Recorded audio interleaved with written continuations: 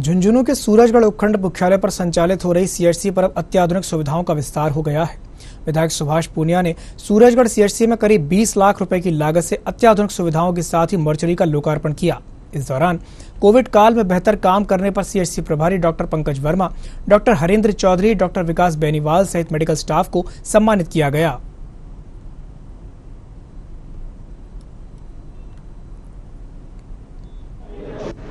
जो हमारे कोविड काबिल डॉक्टर हैं, उनकी भी डिमांड थी कि इस सीएचसी के ऊपर कुछ मेडिकल उपकरणों की ज़रूरत है, ताकि हम यहाँ से जो भी पीड़ित आता है, बीमार आता है, चाहे वो एक्सरे के लिए छिड़ावा पिलाने जाना पड़ता है, या अन्य काम के लिए झुंड जाना पड़ता है, उनका यहाँ, उन पेशेंट्स का यहाँ से अप्लाई नहीं हो, हम उनको इलाज कर सकें, उसी निमित्त मैंने मेरे कोटे से जो भी इन्होंने मांगा, आपके बीच में मुहैया करवाया है। आज उसका लोकार्पण किया है।